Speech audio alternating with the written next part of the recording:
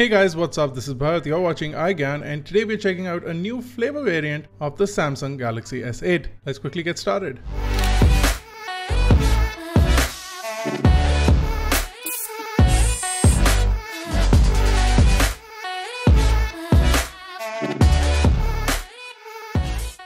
Yes, that is correct. Samsung has launched a new burgundy red colored Samsung Galaxy S8. Now you got the box right here. It looks like any other box of any other S8 that you will find in the market, but you do have a bright red, burgundy red marking on the right side of the box. Now, even though the MRP listed on the box is 62,600 rupees, the actual price of the phone is 49,990. And you can also get a cashback up to 10,000 rupees, effectively making this phone 39,990. It will will be going on sale from tomorrow onwards. Now, once we slide open the cover and cut through the India only SIM card warning, inside the box, the first thing is the burgundy red Samsung Galaxy S8.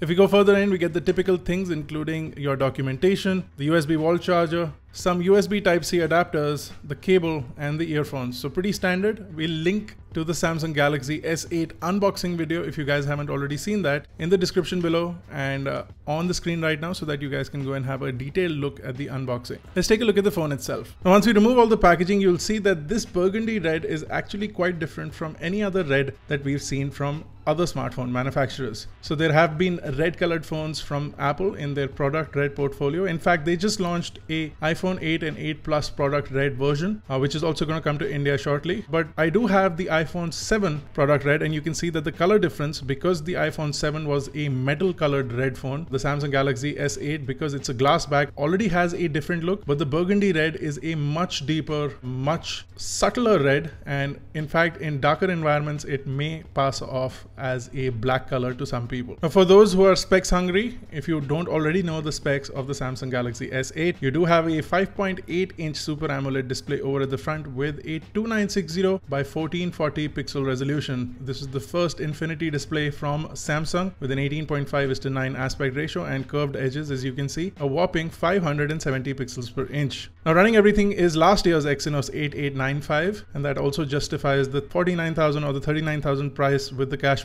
and you also get 4 GB of RAM and 64 GB of onboard storage. At the back you don't get a variable aperture but you do get a 12 megapixel f1.7 camera, one of the best cameras of last year and then you also get your heart rate sensor, the LED flash and the awkwardly placed fingerprint sensor which is a lot easier to reach on the Samsung Galaxy S8. The phone remains IP68 rated and just with this color I think it may end up giving some more energy to the Samsung Galaxy S8. This is a really nice color. In fact it goes perfectly with the color of my car. So I may hang on to this phone for a while and use this as my personal phone. Or if you guys like this video enough, I may just do a giveaway. So let's see, if we get 4000 likes on this video, we'll do a giveaway of the Samsung Galaxy burgundy red color that we have over here. Thank you for watching this quick look video of the Samsung Galaxy S8 in the new burgundy red color. If you liked it, don't forget to smash that like button. Hit that subscribe button if you're not already a part of Team iGyaan. This has been Bharat. I'll see you guys in the next one.